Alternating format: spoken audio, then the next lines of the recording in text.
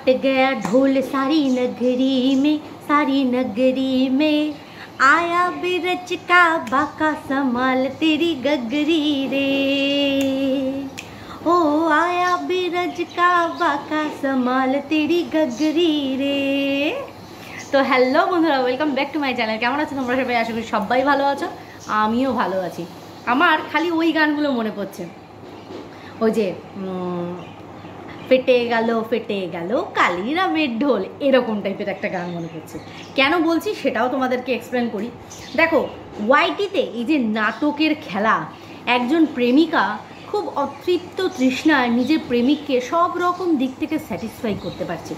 যেহেতু ফিজিক্যালি তার কাছে উপস্থিত হতে পারছে না, তাই মেন্টালি দিক থেকে তাকে ভিজুয়ালি দিক থেকে তাকে স্যাটিসফাই করার চেষ্টা করছে যে দেখো, আমি কিন্তু তোমারই মীরা মানে কৃষ্ণাকে বলছে, আমি কিন্তু তোমারই মীরা, যোগান, ঠিক আছে? যোগান আমি তোমার।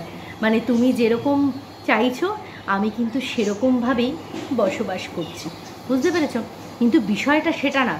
সেটা হচ্ছে যে মীরা, এ হচ্ছে আজকালকার দিনের অসতী মীরা। বুঝতে পেরেছ? এই অসতী মীরা কিন্তু মানে নিজের খিদে হ্যাঁ বেশিক্ষণ তো রাখতে পারে না রে বাবা। আরে একটা মোম আর একটা মানে আগুনের পাশে যদি তুমি ঘি রাখো, ঘি তো সেই যতই কাঠ হয়ে জমে থাকো আস্তে আস্তে আস্তে আস্তে গলেই যাবে। তো কি বিষয়ে কথা বলছি আর কেন এই কথাগুলো বলছি, সেটা একটু খুলে বলা ভালো। ওয়াইটিতে দেখছ, একজন বারো বছর বিবাহিত একটা ফ্যামিলি স্বামী স্ত্রী, আজকে হঠাৎ করে বারো বছর সংসার করার পর সেই স্ত্রীটির মনে হলো যে আমার না আর এই স্বামীটাকে ঠিক ভালো লাগছে না। ভীষণ অকর্মার্জিপি ভীষণ পরিমাণে কুড়ে, মদ্যপান করে, সুরাপান করে নেশা ভান করে, তো এ ভীষণ পরিমাণে সুপুরুষ না। ঠিক আছে? একদম কুপুরুষ এটা। ঠিক আছে?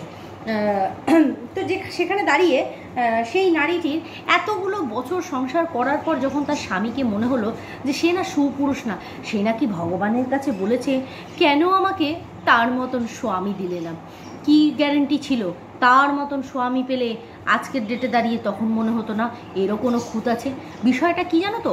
আমরা যারা রিলেশনশিপের মধ্যে দিয়ে যাচ্ছি বা যারা সংসার করছি মানুষকে নিয়ে আমরা যারা যাকে নিয়ে রয়েছি না, আমরা কিন্তু তার ভালো মন্দটা সবটাই জানি। সে যেমন আমারটা জানবে, আমি তারটা জানব যে কোনটা গুণ আছে, কোনটা বেগুন আছে, ঠিক আছে? সেরকমই দূর থেকে দাঁড়িয়ে না কোনো সম্পর্ককে ওইভাবে জাজ করা যায় না। যার সাথে গিয়ে আমি এখনও থাকতে পারলাম না।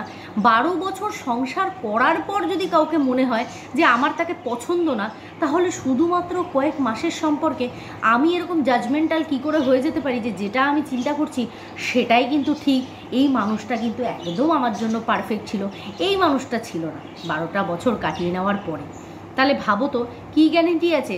দুটো বছর কাটানোর পরে সেই ছেলেটির, এই মেয়েটিকে, এই মহিলাটির, সেই ছেলেটিকে কোনো অংশে মনে হবে না যে না, এ পারফেক্ট না? আমরা কেউ কোনোদিনও পারফেক্ট হতে পারি না, বুঝেছ? আমাদের প্রত্যেকের মধ্যে কম বেশি দোষ গুণ সবার রয়েছে। পারফেক্ট তুমি কাউকে বলতে পারবে না। এই জন্যই তো আমরা মানুষ হ্যাঁ? এবার কেউ মান হারিয়ে ফেলে, কেউ হুঁশ হারিয়ে ফেলে হ্যাঁ? এ তো, এরা তো মানও হারিয়ে ফেলেছে, হুঁশও হারিয়ে ফেলেছে। তো মানুষের খাতায় এদেরকে ধরি না যাই হোক ভালো কথা। এইবার সেই নারীটি অনেক কেচ্ছা কেলেঙ্কারি করে বাড়ি থেকে বেরিয়ে গিয়ে ফ্ল্যাট ভাড়া করে সেখানে গিয়ে এমনকি বাড়ির কলিং বেল টাকা পর্যন্ত কেউ খুলে নিয়ে গেছিল। চাদরগুলিকেও পর্যন্ত তুলে নিয়ে গেছিল। এরকমই সম্পর্ক যে স্বামী বিনা আমার সব ভালো রকমভাবে চলে যাবে, কিন্তু হুল বিনা আমি যেন মণিহারা ফুল। এরকম টাইপের হয়ে গেছিল। আজকের ডেটে দাঁড়িয়ে এ যখন ভিডিও করে, প্রতিশ্রুতিবদ্ধভাবে কিছু মানুষকে যেমন ও এখানে অলিখিত প্রতিশ্রুতি দিয়েছে, অলিখিত প্রতিশ্রুতি মৌখিক, সেটা হচ্ছে সেই হুল আর কাউকে লিখিত প্রতিশ্রুতি দিয়েছে। অলিখিত প্রতিশ্রুতির মধ্যে এগুলো রয়েছে যে, আমি কিন্তু অন ক্যামেরা সবসময় ওড়না গায়ে দিয়ে ভদ্রভাবে বিচরণ করব সোশ্যাল মিডিয়াতে। আমি কিন্তু যার সাথে থাকব, তাকে কোনো দিনও অন ক্যামেরায় আনব না। আমি যার সাথে এখন রয়েছি, তার সাথে কোনো রকম ঢলাঢুলি করব না। আমাকে পুরোপুরি আমার নাগরকে দেখাতে হবে যে আমি চরম পর্যায়ে সতী। বুঝতে পেরেছ? চরম পর্যায়ে, যেটা আমাদের ম্যান্ডু দেখিয়ে বেড়াচ্ছে হুলকে। গায়ে ওড়না, কতদিন এই ওড়না থাকে আমরাও দেখব। গায়ে ওড়না, হুম, আলাদা করে রান্না, আলাদা করে খাওয়া, আলাদা করে শোয়া। এমনভাবে ওয়াইটিতে বিচরণ করে প্রেজেন্ট করছে যে আমার মতন সতী, সাত ঘাটের জল খাওয়া আমার মতন সতী আর একটা কেউ খুঁজে পাবে না। কেউ খুঁজে পাবে না। এরকম একটা হুলকে প্রিটেন্ড করা হচ্ছে। ভালো কথা, যদি সম্পর্কটাকে ধরে রাখা যায় মানে আমার মতন একত্রিশ বছর বয়সীকে যেন একুশ বছরের ছোট্ট কচি নাগরটি ছেড়ে না দেয়, এরকম একটা মানসিকতা। কারণ প্রেম প্রেম, শুধুই প্রেম আছে ওদের মধ্যে আর কি। কিন্তু আমাদের এই যে স্যান্ডু স্যান্ডু একজন আমাকে বলেছে, আপনি আবার ইদানিং কিন্তু প্রচুর পরিমাণে স্ল্যাং দিচ্ছেন। তো আমি চেষ্টা করব আর স্ল্যাং ইউজ না করা ঠিক আছে? আসলে কি হয় বলো তো রাগ বশবর্তীতে একটু বেরিয়ে পড়ে বাট আমি দেবো না দেবো না। আমি যেটুকু দিচ্ছি সেটুকু দেবো না। তো আমাদের স্যান্ডু কি করল? স্যান্ডুর ভিডিওতে কিন্তু সবটা ক্লিয়ার তা বলছি, স্যান্ডু, ওই যে দু কাপ চা আর ওটা কার পা? মানে দু কাপ চায়ের সাথে ওটা কার পাচ্ছিল বুঝতে পারলাম না তো? হুম। আমরা একই ঘরে শুচ্ছি একই খাটে বসছি একই সাথে লাল জল। মানে আমি সুরার কথা বলছি না, চা পান করছি। হ্যাঁ ভাবো তো ভাবো সমস্ত লাইফটা এরা নর্মাল লিড করছে off camera but on camera ম্যান্ডু কি প্রেটেন্ড করছে যে আমার স্বামীর সাথে আমার কোনো সম্পর্ক নেই। অথচ স্বামীর ভিডিওতে শান্ত করে দেব তুমি খাবা বলল না বলল, না, চা একসাথে, দুটো কাপ। ঠিক আছে? আচ্ছা তারপরে কি? দুজনে বেরোলো। Half half, better half. Half আর হাফ, দুজনে মিলেই তো বেটার হাফ হয়েছে। তো এই হাফ, হাফের মধ্যে বিরিয়ানির টাকাটাও হাফ হাফ। খাটের এক পাশ তোমার, এক পাশ আমার। আমরা তো অর্ধাঙ্গিনী, তুমি আমার অর্ধাঙ্গিনী, তাই হাফ হাফ। হুম, আমার অর্ধেকটা তোমার তোমার অর্ধেকটা আমার। এরকম। সমস্ত ক্ষেত্রে হাফ হাফ ইভেন ম্যান্ডিকে যে কমেন্টগুলো করা হচ্ছে, সেই কমেন্টের অ্যান্সার কিন্তু ম্যান্ডু দিচ্ছে না। দিচ্ছে আমাদের সান্ডু আমাদের সান্ডু ওখানেও হাফ হাফ এই যে জনির পটি সংক্রান্ত নানান কমেন্ট যখন ম্যান্ডির কমেন্ট বক্সে আসলো, সেটাকে ক্লিয়ার করল কে? আমাদের স্যান্ডু বোঝাতে পারছি? আবার যখন এই পুজো আচ্ছা ওরে সর্বনাশ। পুজো আচ্ছা নিয়ে প্রথমে আগে একটা কথা বলি।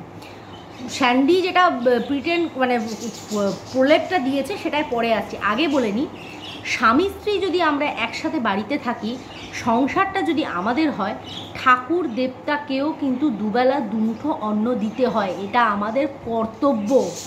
তাদের সেবা দেওয়াটা আমাদের কর্তব্য, কারণ তাদের জন্যই আমাদের সব কিছু সে দালালের কাছে গিয়ে বলছে, আমাদের মান্ডু দালালের কাছে বলছে, কেন সোমনাথের মতন স্বামী পেলাম, কেন হুলের মতন পেলাম না? তার জন্য ঠাকুর বিতাড়িত।